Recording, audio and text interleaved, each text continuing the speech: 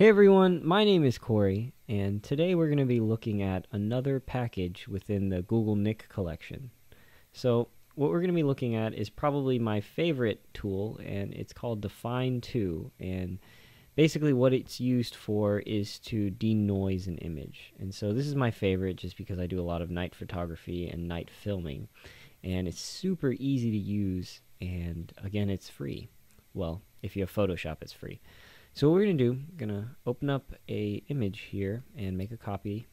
And so this image here is a long exposure on the side of the road. So these light streaks are just cars going by. So if you don't know what long exposure is, it's essentially just the shutter will stay open for in a period of time. In this case, it was 30 seconds. So this is essentially 30 seconds of light. So you can imagine that on a highway, these cars are going to go by and the camera is going to pick up all the little um, moments of the car traveling. So it makes for some really interesting um, composition. But the only problem with this image is that there's a lot of noise, and that's partly my fault. When I took the um, exposure shot, the ISO was set a little bit too high. Um, basically, you need to want to set that ISO as low as you can and change the aperture and shutter before you do that. So that's just a little photography tip. So if we zoom in on the image, and we can see, especially around this area here, there's a lot of noise.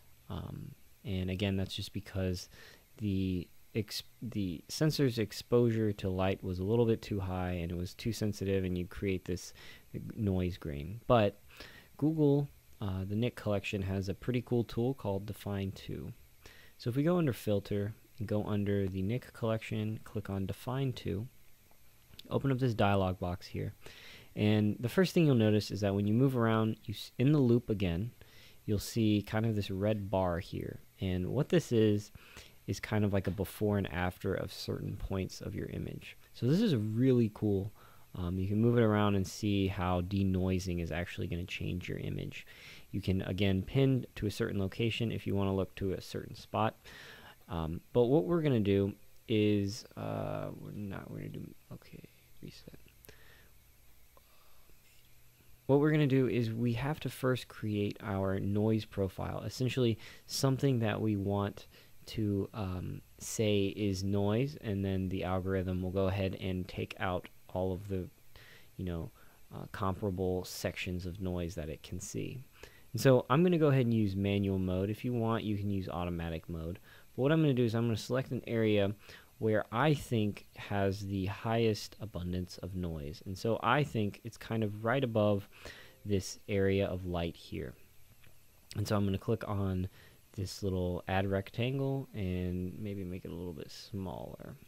And so what I'm going to do then is hit uh, measure noise. And so what it's going to do now is it's going to say, okay, this area here is the noise and basically just take everything else out. It's the same thing if you're doing audio in, our, in Audacity and similarly in Sony Vegas or Premiere if you're removing noise from video. So once we click that, it'll say that a manual profile has been applied. And so what you can do is you can save it, you can use this for later, or you can load an existing one. So the first thing we'll see is um, it'll kind of give you the default settings to reduce the noise.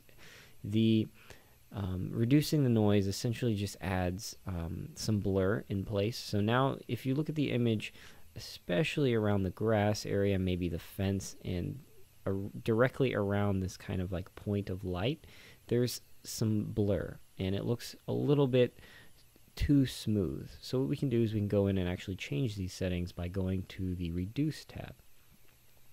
And again, um, something really useful, you can use the loop um, area and basically look at certain segments and see how changing these settings is actually going to change the outcome of the image. So I'm going to go ahead and pinpoint a certain location, let's say right here, and um, contrast noise is what is adding a lot of the blur. So I'm going to go ahead and reduce that just a little bit, but we still want to have the effect of the noise reduction, so we don't want to go down too much. Um, for me, I would say around 85 to 90 percent contrast noise is good. See, if you go all the way up, you'll see how it looks a little bit too cartoony, um, pretty much everywhere. So I'm going to go to a little bit around 90. Let's go straight to 90. Color noise, in my case, I don't really have to touch it that much um, because there's not really any color noise.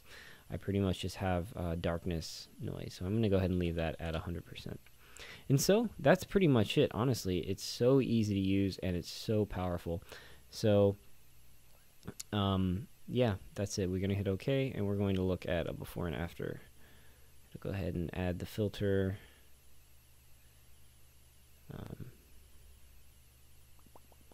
Cool. So if we look before and after, we can see everything looks a little bit blurred, but you can definitely see that it's a very realistic image. Everything just kind of looks um, a little bit smoother and a little bit uh, just overall pretty pretty good. So that's pretty much it for this, guys. Um, again, this is really easy to use and it's free if you have Photoshop.